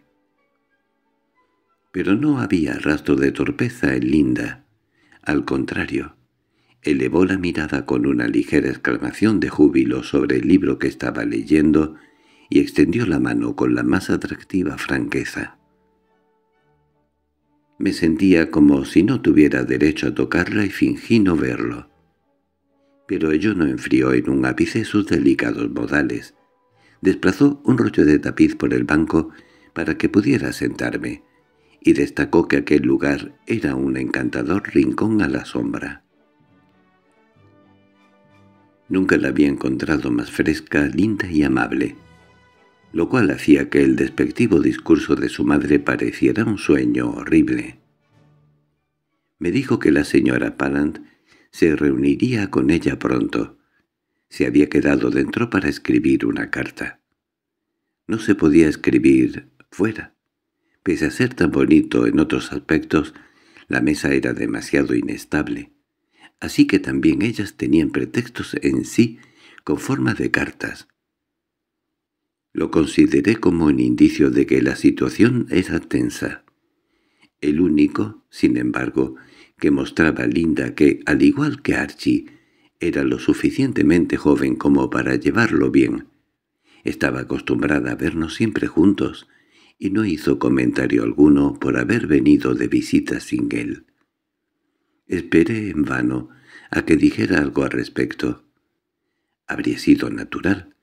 Era casi hostil omitirlo. Finalmente comenté que mi sobrino estaba muy insociable aquella mañana, que había esperado que me acompañara, pero que había dejado venir solo. «Me alegro mucho», respondió. «Puede decírselo si quiere». Si se lo digo vendrá inmediatamente. Entonces no se lo diga. No quiero que venga. Se quedó tanto rato la pasada noche. Linda continuó. Y me tuvo en el agua hasta las horas más inadecuadas. Eso no se estila aquí, ya sabe. Y todo el mundo se sorprendió cuando volvimos, o mejor dicho, cuando no volvíamos. Le supliqué que me llevara de vuelta, pero no quería. Cuando regresamos, casi tuve que coger los remos yo misma. Sentí como si todos hubieran estado sentados cronometrándonos, observándonos. Fue muy embarazoso. Estas palabras me impresionaron, y como he provisto al lector, con la mayoría de las reflexiones, algunas de ellas quizá bastante morbosas, que me permitían relación a esta joven dama y su madre, también podría completar el informe y hacerle saber que ahora me preguntaba si linda, cándida y talentosa doncella había albergado la refinada idea de reforzar su dominio sobre Archie, tratando de demostrar que le había puesto en un compromiso. «Ah, claro, Por eso tenía remordimientos de conciencia la pasada noche, exclamé. Cuando volvió a Estresa se deslizó hacia su habitación. No hubiera podido mirarme a la cara. Mamá estaba tan enfadada que lo cogió aparte y le echó una reprimenda, continuó la chica. Y para castigarme me mandó directa a la cama. Tiene unas ideas muy anticuadas. ¿No es así, mamá? añadió mirando sobre mi hombro a la señora Paland, que acababa de aparecer tras de mí. No recuerdo qué respuesta dio la señora Paland a la interrogativa de Linda. Permaneció allí, con dos cartas, cerradas y con dirección en la mano. Me saludó alegremente y después le preguntó a su hija si tenía algún sello. Linda consultó un libro de bolsillo algo destartalado y confesó que no le quedaba ni uno, ante lo cual su madre le dio las cartas con el recado de dirigirse al hotel, comprar los sellos adecuados en el puesto, pegarlos con cuidado y echar las cartas al buzón. Debía pagar los sellos, no añadirlos a la cuenta, una preferencia para la que la señora Palan dio sus razones. Yo había comprado algunos en estrés aquella mañana y estaba a punto de ofrecerlos, cuando como si hubiera adivinado mis intenciones, la señora Palas me silenció con la mirada. Linda le dijo que no tenía dinero y su madre hurgó en su bolsillo en busca de un franco. Cuando lo hubo encontrado y se lo entregó a Linda, la besó antes de partir con las cartas. «Madre querida, no tienes muchos, ¿verdad?» murmuró, y me lanzó indirectamente mientras se marchaba la más bonita sonrisa tragicómica. «Esta chica es increíble, increíble», dijo la señora Paland al mirarnos. «¿Sabe lo que usted ha hecho? Sabe que he hecho algo y está recomponiendo lo que es, o lo hará en el caso de las próximas veinticuatro horas si su sobrino no regresa. Creo que puedo prometerle que no lo hará». «¿Y no le preguntará?» Jamás. ¿No se lo dirá? Son capaces de sentarse juntas en esta cabaña este día divino, con cosas tan horribles como esa entre ustedes? ¿No recuerda lo que le conté sobre nuestra relación, que todo figura implícito entre nosotras y nada expreso? Las ideas que hemos compartido, nuestra frivolidad perpetua, nuestra incesante búsqueda de oportunidades no son el tipo de cosas que pueden pronunciarse alegremente entre personas que desean mantener las formas, como es nuestro caso. Así que, si nos entendíamos la una a la otra, resultaba suficiente. Ahora nos entenderemos como siempre hemos hecho, y nada cambiará, porque siempre ha habido algo entre nosotras de lo que no se podía hablar. Sin lugar a dudas ella es increíble, increíble, repetí, pero usted también. Y después le pregunté qué le había dicho a mi chico. Parecía sorprendida. ¿No se lo ha contado? No, y nunca lo hará. Me alegro de ello, dijo, simplemente. Pero no estoy seguro de que no vaya a volver. No lo hizo esta mañana, pero tenía ya la mente puesta en ello. —Es su imaginación —dijo la señora Palan sin titubear.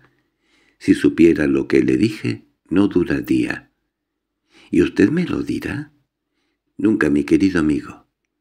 —¿Y él la creyó? —El tiempo lo dirá, pero eso me parece. —¿Y cómo le convenció de que usted cogiera un rumbo tan contra natura? Por un momento no dijo nada, solo me miró. Entonces finalmente dijo, «Le dije la verdad». «¿La verdad?» repetí. «Lléveselo, lléveselo», dijo de pronto. «Para eso me libré de Linda, para decirle que no podían quedarse. Tienen que marcharse de estrés mañana. Esta vez debe hacerlo usted, yo no puedo huir de nuevo, es demasiado costoso» y sonrió de un modo extraño. «No tema, No tema. Nos marcharemos mañana. Soy yo el que quiere irse. La cogí de la mano para despedirme y mientras la sostenía le dije. ¿El modo en que le habló de Linda al chico fue tan malo? Fue horrible. Me di la vuelta. Verdaderamente sentía deseos de abandonar el lugar. La señora Pallas me previno de ir al hotel, pues me podía encontrar con Linda a su vuelta, cosa que no deseaba hacer en modo alguno, y me indicó otro camino por la carretera.